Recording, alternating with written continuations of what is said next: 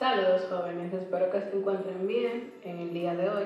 El motivo de este video es explicarles eh, lo que ustedes van a realizar en su proyecto de la plataforma GeoGebra.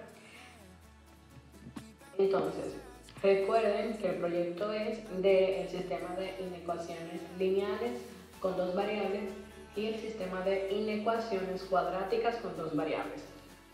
Aquí ustedes tienen eh, seis ejercicios de cada uno, pero como dice la consigna, solamente ustedes van a elegir tres sistemas de inecuaciones lineales, es decir, tres de estos, y cuatro sistemas de inecuaciones cuadráticas, es decir, cuatro de estos. Ok, lo primero que debemos saber es que el proyecto lo vamos a hacer en la plataforma de GeoGebra. Para ello, lo que debemos hacer es, recuerden que como les dije, la plataforma la pueden descargar en sus teléfonos, computadora, tableta o pueden usarla en eh, la versión online. Para eso escribimos GeoGebra Classic y el primer enlace que nos sale en Google lo vamos a seleccionar. Ok, ya aquí estamos dentro de la plataforma de GeoGebra. Entonces, lo que vamos a hacer es que vamos a elegir, yo voy a elegir un sistema de inecuación lineal con dos variables. Obviamente no voy a elegir exactamente los mismos de ahí porque ese es el trabajo que ustedes deben realizar.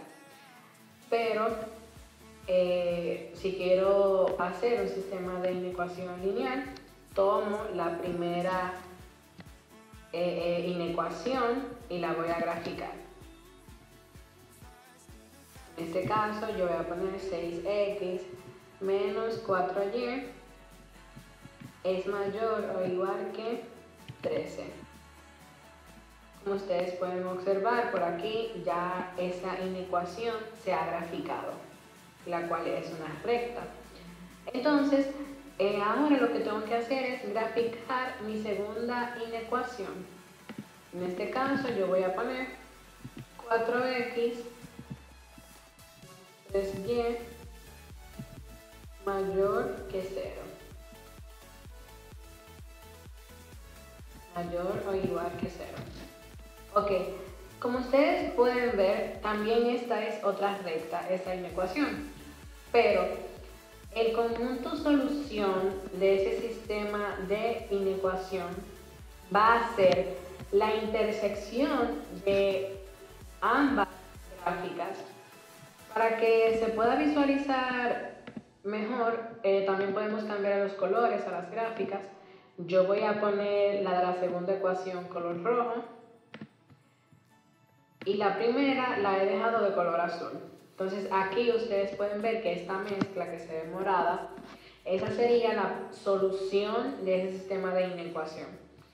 Pero para que se vea aún más eh, visible ese, ese conjunto de solución, puedo solamente graficar la intersección que hay entre ambas inecuaciones. Para eso voy a escribir A, que fue el comando que le puso la plataforma a la primera inecuación y voy a escribir aquí, voy a utilizar el símbolo de conjugación que significa y y voy a poner la b que es mi otra inecuación. Como ustedes pueden observar, si yo oculto ambas inecuaciones, aquí solamente se va a visualizar el conjunto solución de ese sistema, que sería toda esta parte morada que se puede observar por aquí. Eso es simplemente lo que ustedes van a hacer.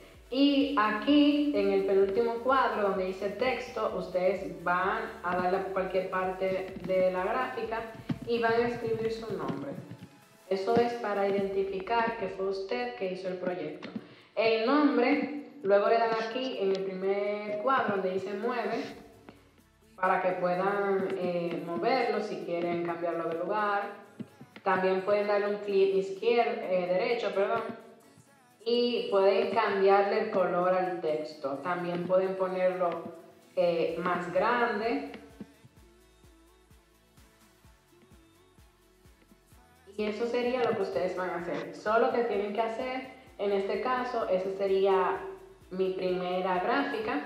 Y luego le van a dar aquí a, los tres, a, a, las tres rayitas que se ven en este icono y le van a dar donde dice descargar como archivo de GeoGebra. Y ese archivo es el que usted me va a enviar por correo electrónico. Pero recuerden que deben hacer ese, esa descarga, como dice la consigna, eh, ustedes van a elegir tres sistemas de inecuaciones lineales y cuatro sistemas de inecuaciones cuadráticas. Es decir, que usted va a hacer ese proceso tres veces para las lineales y cuatro veces para las cuadráticas. Ahora, para finalizar, yo voy a realizar una cuadrática para que ustedes puedan observar también un ejemplo de ella. Cabe destacar que no voy a eh, hacer ninguno de estos, sino que voy a hacer uno parecido. Para eso, recuerden, graficamos la primera ecuación y luego la primera inecuación, perdón, y luego la segunda inecuación. Entonces, como ya yo descargué este archivo, puedo irme a otra pestaña y hacer lo mismo o puedo simplemente eh, eliminar lo que he hecho si ya lo descargué. Tienen que estar seguros de que ya su archivo se le haya descargado. En este caso yo abrí otra pestaña. Eh, voy a graficar mi primera inecuación, que es x al cuadrado, más y al cuadrado, mayor o igual que 16. Pueden observar aquí se está visualizando la gráfica de esa inecuación. Voy a graficar también mi segunda inecuación, que sería 2x al cuadrado más 3y al cuadrado menor, menor o igual que, la voy a poner menor o igual que 70 para que se pueda visualizar una intersección, que es lo que está sucediendo. Entonces vamos a cambiarle de color a la segunda inecuación para que se pueda visualizar lo que está sucediendo. Aquí recuerden que el conjunto solución va a ser la intersección que hay en ambas gráficas de las inecuaciones. Entonces, como mi intersección sería esta parte que se ve por aquí, la puedo también graficar como le enseñé. Escribo A, que fue el comando que GeoGebra le puso a la primera inecuación. Pongo el símbolo de conjunción, que significa I. Y ahora pongo el comando B, que sería mi segunda inecuación. Y ahí, si oculto ambas inecuaciones, simplemente voy a ver cuál fue la intersección, que es decir, ese sería el conjunto solución de todos los puntos que satisfacen ese sistema de inecuación cuadrática con dos variables. Luego me aseguro de ir a, a las tres rayas de aquí para descargar mi archivo como GeoGebra, aquí la primera opción. Luego que se descarga, sigo trabajando con mis otros ejercicios. Recuerden poner el nombre también por aquí, como hicimos con el primero. Y luego eso eh, esos archivos que ustedes descargan son los archivos que ustedes me van a enviar por el correo electrónico.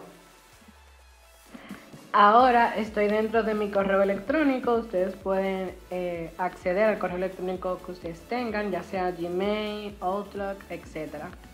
Eh, lo que único que van a hacer es, le van a dar aquí a redactar, van a poner el correo electrónico que yo les facilité, que es licenciado.anthony.gmail.com. Y aquí van a darle donde dice adjuntar archivo. Van a seleccionar el archivo que han descargado, recordando que en este caso solamente hay uno, pero ustedes, como tienen que hacer siete ejercicios, tienen que seleccionar siete archivos. En el asunto pueden escribir su nombre y en este caso el curso al que pertenecen. De esa forma luego le dan a enviar y listo. Y sin más que decir, esperando que hayan podido comprender los pasos que van a realizar para elaborar su proyecto, así que manos a la obra.